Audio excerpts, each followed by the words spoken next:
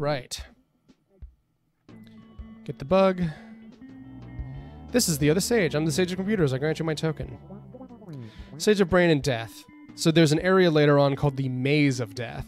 Um, that thing is a pain to explore.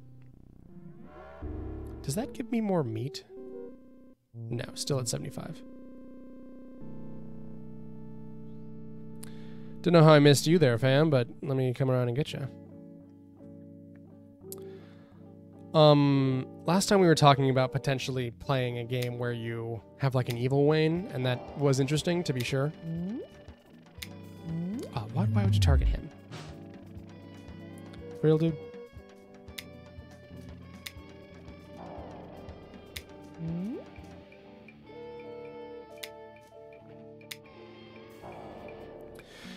All right.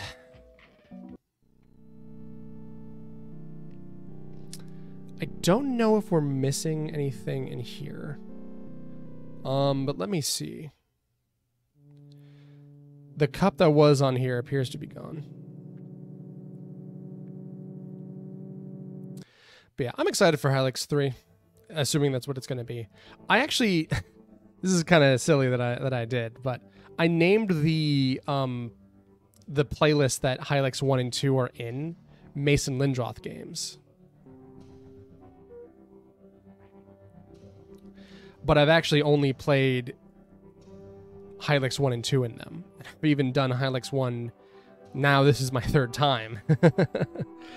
uh, I might even come back and do it a fourth time. Uh, I'll have something new there, but now I just I really wanted to go back and play a new thing. Um, you can see by my behind surroundings and I've talked about this on the channel before. Oh, by the way, um, this isn't like replacing Castlevania. I'm gonna come back and do more Castlevania later. Of that, you don't need to worry. Um, it's just that currently we've been doing a lot of. I want. I really wanted to record Hylics. I really wanted to do. Um, I wanted to get through more of Valkyria Chronicles, which might be done by now. I don't actually know. Um, Um, but yeah, I really wanted to do all of those.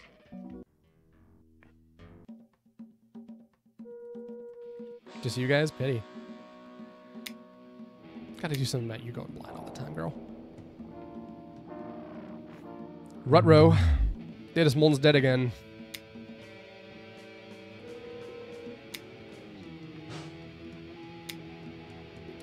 If we die, and whatever, because we can just dump more meat that way. But yeah, because we came from Somsnosa's direction with all of the goodies, we shouldn't need to go back and put more stuff in. Why don't we actually, let's play a little smarter here.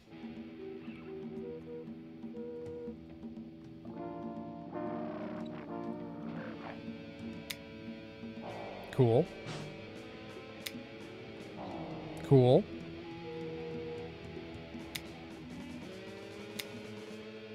You're tough. Damn.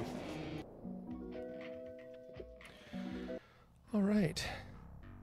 Yeah, I really feel like there's a lot of stuff in this game that's almost an afterthought.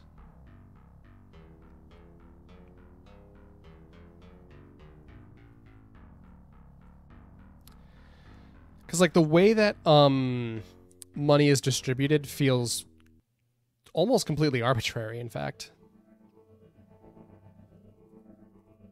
Okay.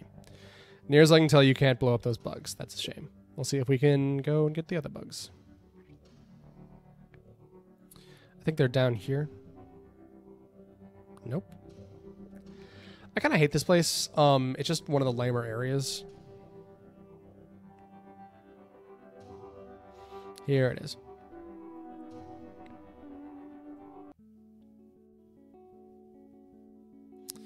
We need this TV, though. Right.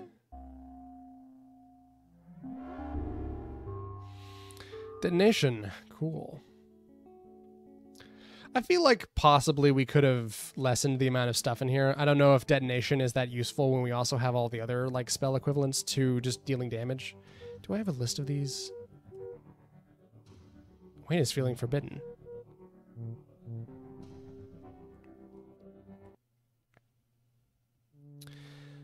Um later on they actually give you this is just talking about the the strain the crazy money balancing again but later on they actually give you uh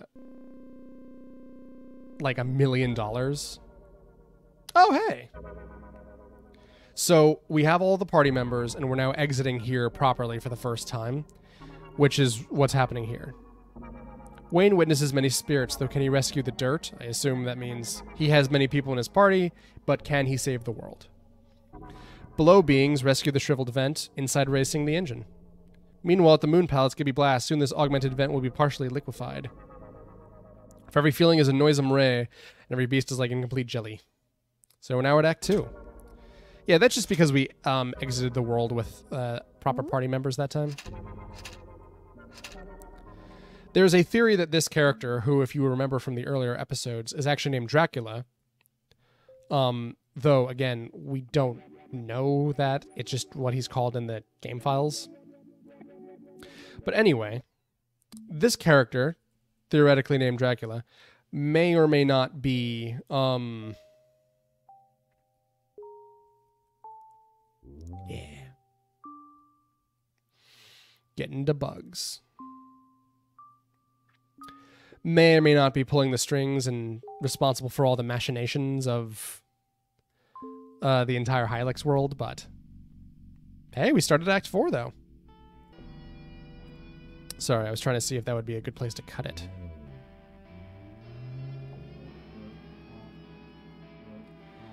Boy, it might be it might really hit the spot to go find out to go grab all the paper cups just cuz like like I said, the double unlock is a little egregious.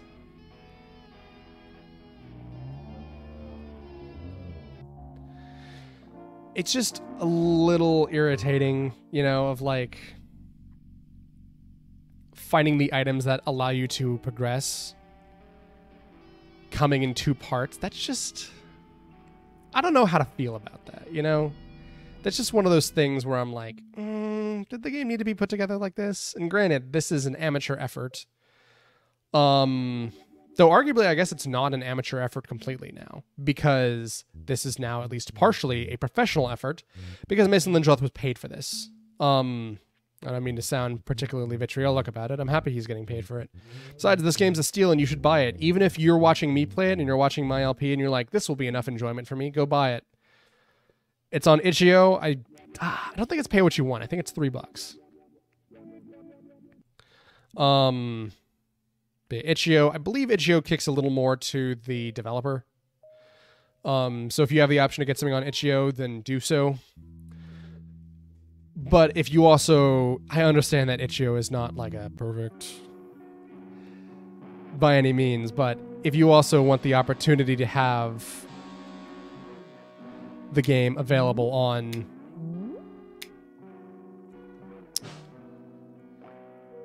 Steam, just because Steam is more convenient. Because I'll, I'll admit, Steam is so convenient. Like, I feel kind of bad to be engaging in a monopoly. I mean, like, but on the other hand, they're not making it easy for me to not, you know? I gotta play smarter here. One mo.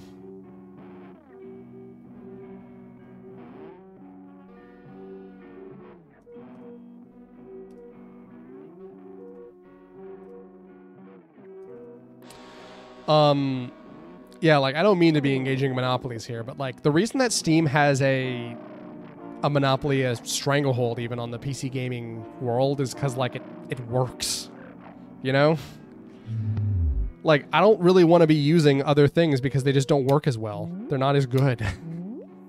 Epic Game Store is not as good, and it doesn't have as much stuff. Same deal for itch. I'm like, that's a shame because I don't want to have a, a thing where like this is just the best and only way to do this. Um, sorry, I got a news pop up, so I got distracted. So I kind of threw this fight. Don't mind me. Um.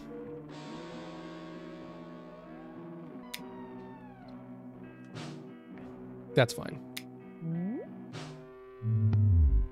In fact, that's that's good. Because now we can turn in the meat. I believe we got the TV down here a couple of uh, episode or two ago, so let's turn in that meat. Yeah, 83 meat. Certified banger.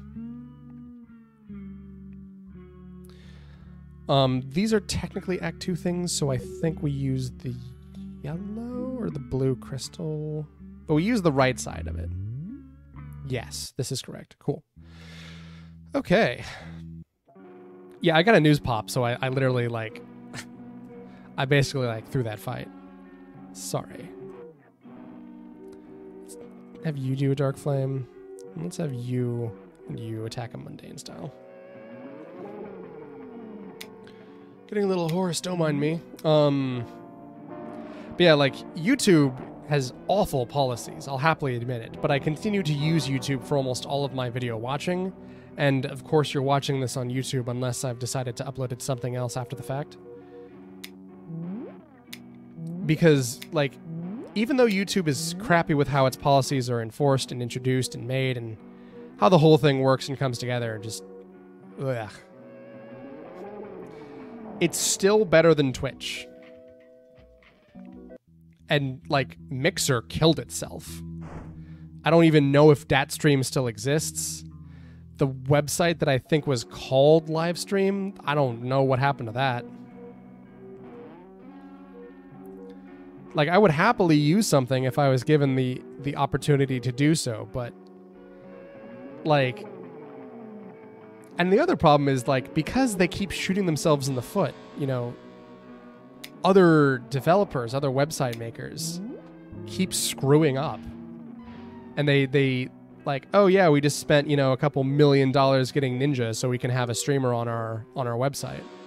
Oh no, that that overdrafted us and now the website's bankrupt. Well, now all that money we spent was for nothing anyway. You know? God, I miss Mixer. Mixer wasn't even that good. They just weren't YouTube and they weren't Twitch. But yeah, it's a thing of like, if the other companies could stop screwing up, I think Dailymotion or Vimeo instituted a thing where like you uh you have to pay to host videos there and like who in their right mind would ever do that? Why would you want to ever ever pay in order to put videos on a website when YouTube is just free and all the other ones are free? Come on. Should be basic, right? And yet, um, but yeah, like if the other companies could stop shooting themselves in the foot and ruining their chances, then maybe we could have something where YouTube is like, oh, we might actually lose money and lose people here. Maybe we should try to implement more fair policies or do something that's not as crap, you know? But until that happens, we're just going to have to suffer. Guess we could maybe hope that somebody upstairs, and, and by that I mean somebody in the United States government, can institute something about this, but who fucking, who knows? But yeah, it's just one of those things. It's a very strange feeling because, like, I'm not actually making money on YouTube. It's a hobby, it's fun, and I enjoy doing it, but I am not making money, but I know people who are. Um, and, like, just the concept that, like, the ecosystem is, like, surviving, but at the same time, like, people feel like it could collapse overnight. Like, that's weird.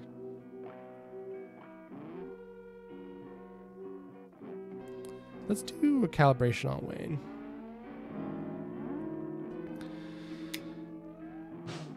Um, and yeah, I, I worry for the people because, like, they provide content, they're making art, they're having fun. I feel like they should be allowed to do that and make money off of it. But the way that things are set up, that might not be the case, you know? And that's unfortunate. I think it would be great if it was easier for me to make money on YouTube, you know? Now I'm just complaining. Don't mind me, everyone. Um, but yeah, more fair inclusion of policies, more fair implementation. Like the way to reform it exists. It's not necessarily easy, and the problem is that toes would get stepped on in the in the process, but I digress.